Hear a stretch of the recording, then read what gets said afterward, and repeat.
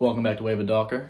In today's video, it will be the game one and two preview of the upcoming ALDS series between the Baltimore Orioles and the Texas Rangers. Uh, I'm trying to do one take in this video. Uh, I really don't feel like going too in depth. I'm just gonna you know, feel it out and just talk. So yeah, first playoff game in Baltimore since 2014. I am so freaking excited. Game one is tomorrow at 103. Game two 407. Game three is Tuesday. Game blah blah blah. Two two one. Baltimore, Texas, Baltimore. I'm so excited. I'm going to the game on Sunday. Oh my God, me and my dad, we are going to have an awesome time. I'm super excited. But let's get into some, you know, some talking points about the series. Game one probable for the Orioles is, or not probable, confirmed, is Mr. Kyle Bradish. Uh, I think he's probably the best pitcher remaining in the American League. Uh, you know, Sonny Gray's up there. Eovaldi's really good. Um, the Astros really don't have that many good pieces, good pitching pieces that compare to uh, Bradish or Gray or uh, Eovaldi. But honestly, I think Bradish is the best pitcher remaining in the American League. So he's the game one starter. Grayson Rodriguez will be the game two starter. Very excited for that. And it'll probably be Dane Dunning for Texas on Saturday and Jordan Montgomery on Sunday. So we'll be Montgomery, I think, on uh well Tuesday. Wait, Tuesday. He played pitch Tuesday, so Wednesday, Thursday, Friday, Saturday. So yeah, it'll be on regular rest. So that'll be interesting. It'll probably be Eovaldi game three and Meansy or Kremer game three on Tuesday, but we'll see. I'm talking about game one and two.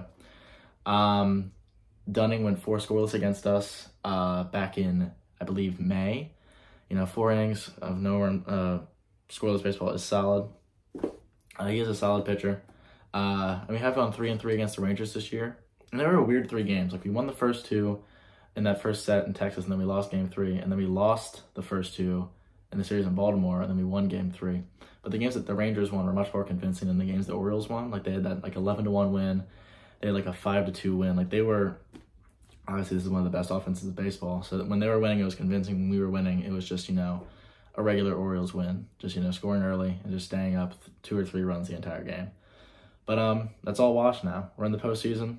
Uh, the Orioles very I, I don't want to say very inexperienced. It's just, I mean, it's true, but like it doesn't feel that way. Like I'm someone who believes that I'd prefer, I, I wouldn't prefer it, but I'm not going to be like, oh man, these guys haven't seen postseason baseball. I think they're going to flounder. I think this is a very confident and just able Orioles team. Like you look at Jordan Westburg and like all of our young guys like Gunnar, Adley, Grayson, like these are dogs and they, they go out there and they play it's they they'll, they'll, they're gonna play the game on Saturday and Sunday like it's any other game. Like they're not, they're not gonna shy away from the spotlight. Like they've been in the spotlight all season. You know, the best team in the American League, practically pole to pole. Like it's it's just been an awesome baseball team. And then we have those seasoned veterans like Kyle Gibson, Aaron Hicks, Adam Frazier. I don't. I mean, Jack Flaherty technically is a vet, but you mean those guys that have seen postseason baseball, like obviously, it, it, I think it'd be a bit of an issue if none of our rosters seen postseason baseball, and that's obviously very rare. But you know, we have the vets necessary to bring this team together and pull them up if you know they start to, you know, get a little antsy on the big stage. But I think this should be a phenomenal series. Um, I'd be stunned if it doesn't go to four or five games. Uh, obviously, I want it to you know end as quickly as possible as an Orioles fan in favor of the Orioles. I don't want to get swept, you know. But um, I think this should be an awesome series. Very very similar teams in terms of how they win baseball games, but very different roster construction. Like you, you can consider the Rangers a team that was bought while the Orioles were built. You know, they have those huge contracts that they shelled out to Semien and Corey Seager. Um, but then, you know, they do have those younger guys that they've uh, brought up, uh, like uh, Hunter. Uh, I mean, Adolis Garcia, Yeah, they sort of swindled from St. Louis. So, you know, very interesting teams. Very different, though. You know, Corey Seager. World Series MVP. Like he's been here before. Uh, Eovaldi, he's been he's been in the post. Like they they're a very experienced roster. We're uh, inexperienced in the postseason. But like I said earlier, like I'm not.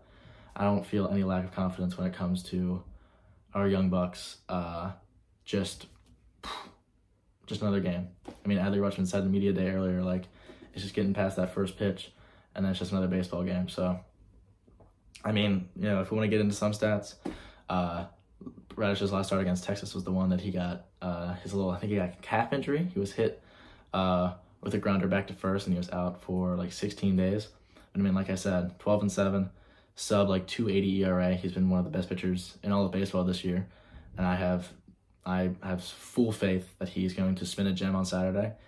Grayson, uh, he had a few blow up starts uh, prior to his uh, getting sent down to Norfolk, and one of those starts was giving up like eight or nine earned runs against Texas in June on the debut of the City Connects. I remember that day very vividly. But I think a few days after that, he was sent down to Norfolk, and like I said in almost every video containing Grayson, he is a completely different pitcher since he has returned from Norfolk, and that's why he's the game two starter. And like with Bradish, I have full faith that he's going to go on the mound and with a fire in his heart. He is from Texas, so he's going to have, you know, probably some family from Texas at the game, and he's going to. I mean, that Camden crowd's going to be crazy. I'm very excited to see that atmosphere through the TV on Saturday and in person on Sunday. I can't even imagine it.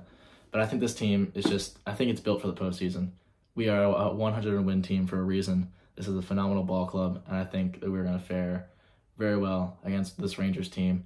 Their bullpen has their weakness, so if we can score early and get Montgomery, Dunning, Heaney, Eovaldi, whoever they throw out there on the mound, if we can get them out early, I think we have a really good chance of scoring a lot of runs and limiting this explosive Texas offense. Um, so yeah, that's all I gotta say.